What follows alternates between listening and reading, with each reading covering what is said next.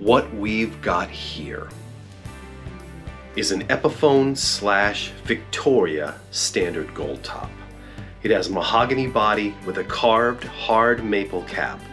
It's got a laurel fingerboard with a 12 inch radius, 22 medium jumbo frets. It's got a Graph Tech nut. It also has the Slash custom C-shaped neck profile.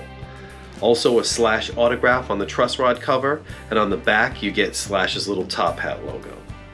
It's got Epiphone Vintage Deluxe tuners, two custom Slash approved Alnico 2 Pro buckers, CTS pots with orange drop capacitors, and it comes with a nice custom hard shell case. Let's talk guitars.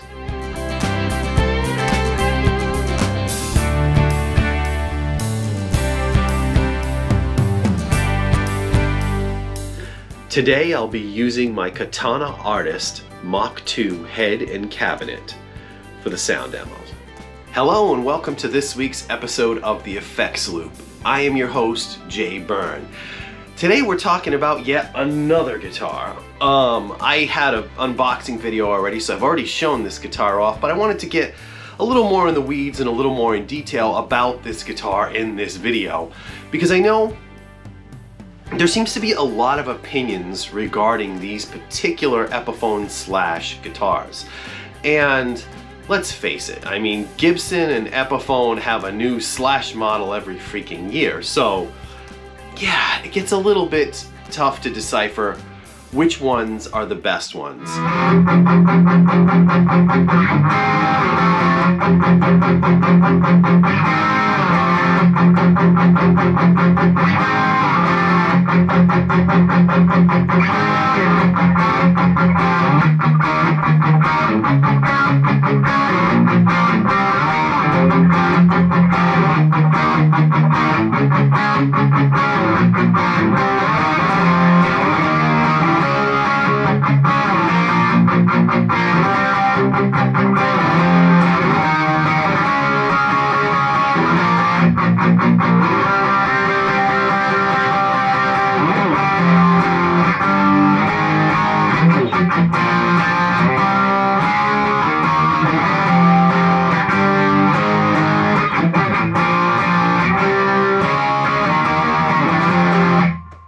Originally, I wanted to get the Appetite Burst, but that one was out of stock at Sweetwater, and I was just impatient, and I didn't feel like waiting. Plus, I wasn't really sure whether I liked that particular top, because that top is a veneer.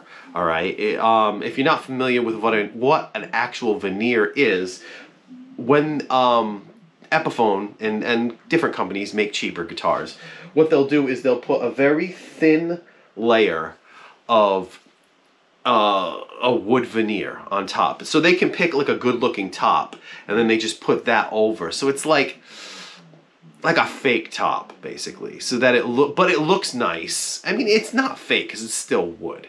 But it's not like you've got the mahogany body and that's the actual grain from the mahogany body. You're seeing the veneer, okay? What I like about this gold top is there is no veneer. There's a hard maple cap and it's gold painted. There's no veneer on this one. What I think is kind of cool, actually, and I did a bit of research to figure this out, is this back right here, that is not a veneer. That is a solid mahogany back, which the wood is really nice looking on the back of this body. So this does have, this is mahogany, and this back is not a veneer. Um, I, I don't know, there might be people out there saying that it is, but I've researched it and it is definitely, definitely not a veneer. It's not super heavy. I, I picked that myself. I think that's around um, eight pounds. Just no, it, no, it's in seven. It was it was seven something. I think seven pounds, like sixteen ounces or something like that. It's not the heaviest thing I've ever uh, worn. I mean, I think they are chambered a little bit to help with the weight inside. I've heard that. I mean, there's no way to really know unless you're opening them up, and Epiphone doesn't really put that information out there.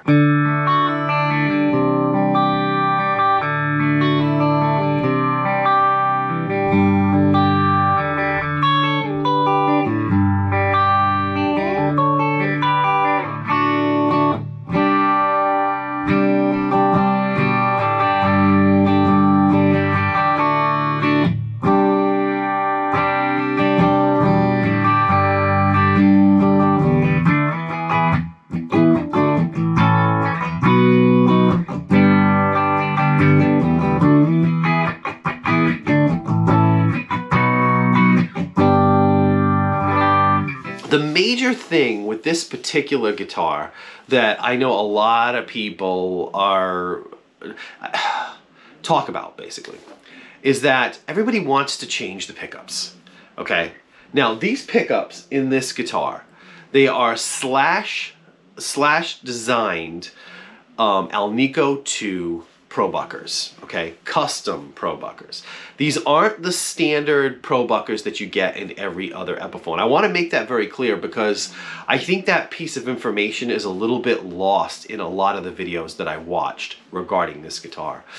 And um, these pickups, according to Epiphone, there was actually an article that I read um, that went into very good detail about what the uh, what Epiphone actually did. Apparently, they took the specs of Slash's signature pickups because the earlier versions of these, a couple years back, had Slash's signature pickups in them. Okay, they were the uh, Seymour Duncans. But instead, what Gibson and Epiphone have, Gibson as a company has done now, is they took those pickups, those slash pickups, basically like, you know, figured out what they were and they took them and they made them themselves. They took the burst buckers for the Gibson versions and they designed the burst buckers to sound like the slash pickups. For Epiphone, they took the Pro Buckers and they redesigned the Pro Buckers to sound like Slash's pickups. According to the article that I read, basically these are the Slash pickups. They are so close. Like in spec, in design, in everything, they're very, very close. So, for all intents and purposes, these should sound almost identical to the Slash Seymour Duncans.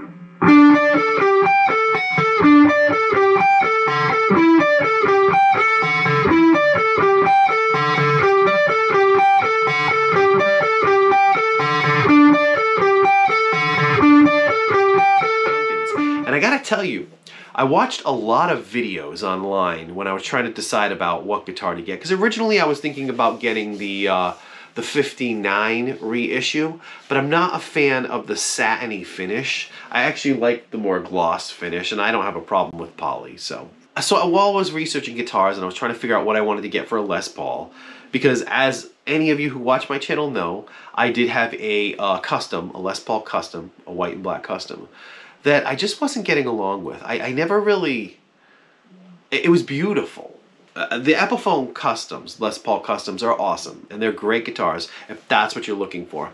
But a Les Paul Custom sounds a little different than a standard.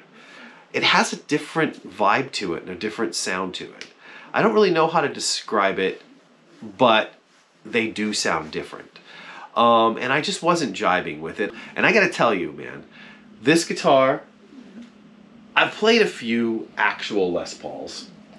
I mean, I don't, I've never owned any, but I've messed around with a few.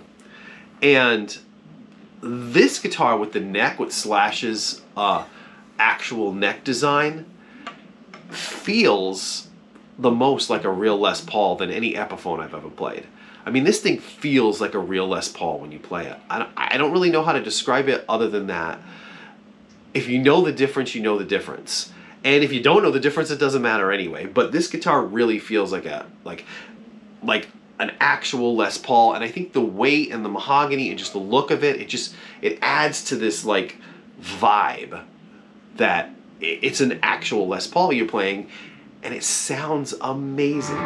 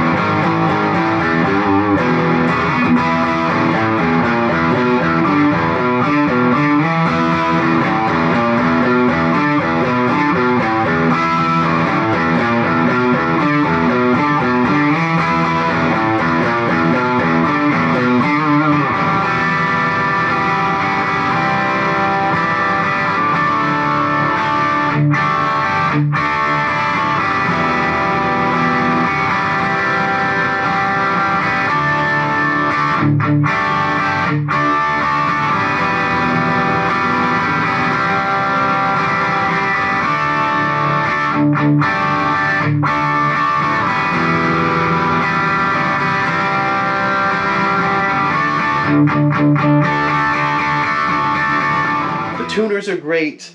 Um, the neck is awesome. I will say, and I'm going to be 100% honest about this, when I got that, there was quite a bit of fret sprout.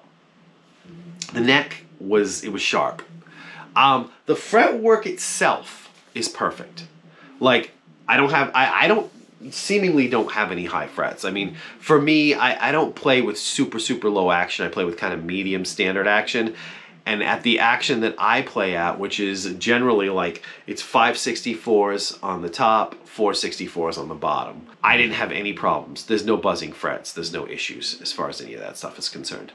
But the fret ends were kind of sharp and I had to do some work on it, which took me a little while, but I finally got it nice and comfortable. Like now that I kind of got used to doing taking care of the fret ends and stuff like that. It was something new for me. Like I never, and I didn't want to wreck my guitars because, you know, and I didn't want to damage the finish and all that kind of stuff.